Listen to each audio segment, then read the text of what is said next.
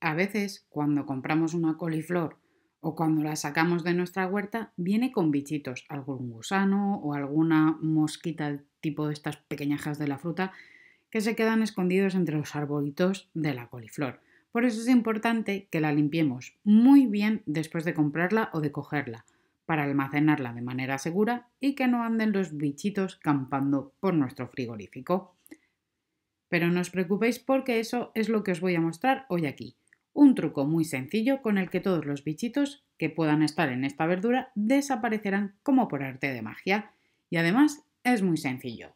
Pero antes de ir con esta información, por favor suscríbete a mi canal, compártelo con tus amigos, dale a la campanita para que no te pierdas ningún vídeo y deja unos deditos arriba.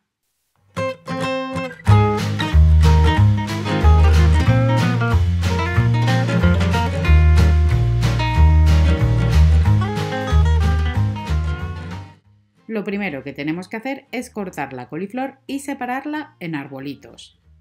Vamos a colocar la coliflor ya cortada en un cuenco de cristal, de metal o de plástico, el que prefiráis. Cubrimos la coliflor con agua y añadimos un chorro generoso de vinagre. Vamos a dejar que repose así durante al menos 30 minutos. Es posible que los trocitos de coliflor floten, así que procura darles la vuelta con cierta frecuencia para que queden bien impregnados por todos los lados. Transcurrido el tiempo de reposo, enjuágala bien y ya estará lista para usar o para que la congeles y la tengas almacenada por 6 meses como mucho, para que no pierda propiedades. Yo después de lavar esta coliflor la he usado para hacer una receta que es la que yo más hago en casa, cuando quiero cocinar la coliflor os la muestro a continuación. Por cierto, no os preocupéis porque el vinagre no le dará sabor a vuestra coliflor, simplemente la desinfectará y matará a los bichitos.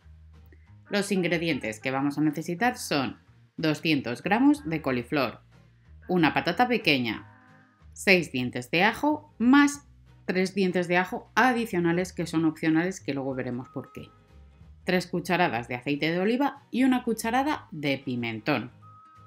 Coloca la coliflor limpia y cortada en arbolitos en la olla express. Cubre con agua y añade un poquito de sal. Pela la patata y córtala y añádela junto con la coliflor. Cierra la olla express y calienta a fuego fuerte hasta que comienza a salir el vapor. También podéis hacer esta receta en una olla convencional. En este caso tendréis que cocerla hasta que esté bien blandita. Cuando la olla empiece a soltar vapor, Baja la temperatura a la mitad y deja que se cocine 5 minutos. Mientras la coliflor se cocina, vamos a preparar el sofrito. Para ello, pelamos bien los dientes de ajo y los cortamos en trocitos pequeños. Colocamos el aceite en un cazo y lo calentamos a fuego bajo. Añadimos los dientes de ajo cuando el aceite ya se haya calentado. A mí me gusta añadir también unos dientes de ajo enteros sin pelar pero esto es completamente opcional y porque yo soy ajo woman. Me encanta el ajo y me gusta que las cosas sepan ajo. Deja que se frían muy lentamente, a fuego muy lentito. Transcurrido el tiempo de cocción, abre la olla express y retira el agua. Acaba el sofrito subiendo un poco la temperatura para que se doren los dientes de ajo. Y cuando ya estén listos, no os paséis de dorado porque amargan Apaga el fuego y añade el pimentón. Remueve un poco y añádelo rápidamente junto con la coliflor para que el pimentón no se siga cocinando y no se queme, porque también amarga. Remueve para que todos los ingredientes se mezclen y listo. De todos modos, en el canal hay otras dos recetas de coliflor ya subidas que están deliciosas también y que son ideales para aquellas personas a las que no les gusta esta verdura y que quieren camuflar su sabor. Por un lado tenemos el gratinado de coliflor, que es una receta muy sencilla, muy sabrosa y original. En casa la suelo hacer cuando vienen amigos con hijos a los que no les gusta la verdura, para que así todos comamos de manera relativamente sana y deliciosa. Por otro lado tenemos los pops de coliflor, con una salsa estilo búfalo que hace que estén absolutamente deliciosa y que sean ideales para cualquier tipo de celebración nadie se dará cuenta de que está comiendo coliflor, de verdad, es que es impresionante.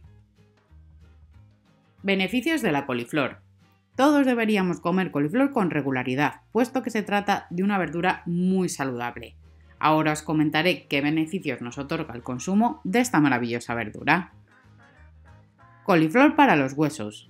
Gracias a su alto contenido en vitamina K, la coliflor mejora la salud de nuestros huesos evitando la aparición de la osteoporosis, así como fortaleciendo nuestros huesos y protegiéndolos frente a las roturas.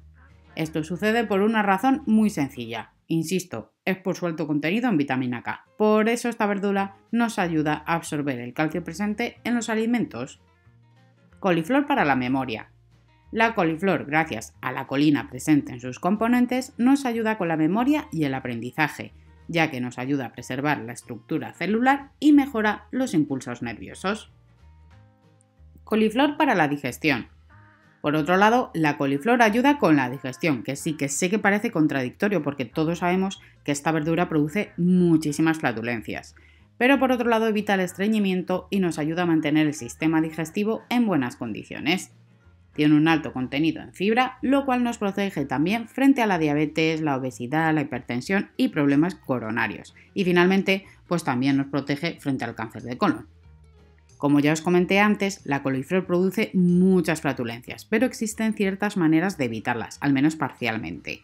Una de ellas es no cocer la verdura en exceso. Cuando la verdura está en su punto de cocción, es decir, un poquito al dente, produce menos flatulencias y además preserva mejor sus propiedades. Por otro lado, también podéis consumir una infusión de manzanilla con anís después de comer la coliflor y cocerla con un poquito de hinojo o comino para que produzca menos flatulencias. Beneficios generales de la coliflor. Finalmente, me gustaría añadir que consumir coliflor con regularidad nos ayuda a controlar nuestro peso, nos protege frente a enfermedades como la obesidad, enfermedades coronarias o diabetes y que además nos ayuda a tener un cutis saludable y a tener mucha energía para afrontar nuestro día a día. Así que no hay excusa para comer coliflor. ¿No te gusta la coliflor? Aquí tienes recetas de coliflor que no saben a coliflor.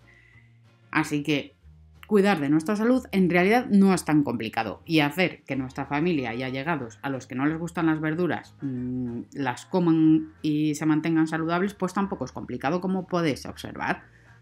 Si hacéis alguna de estas recetas, les hacéis fotos y las queréis compartir conmigo, lo podéis hacer a través de Instagram, que tenéis mi usuario aquí abajo, en el cajetín de la descripción. Antes de iros, por favor, suscribíos a mi canal, compartidlo con vuestros amigos, dadle a la campanita para que no os perdáis ningún vídeo y dejadme unos deditos arriba. Y también puedes seguirme en mis redes sociales, en Facebook, en mi página web y en Instagram. Encontrarás los enlaces en el cajetín de la descripción.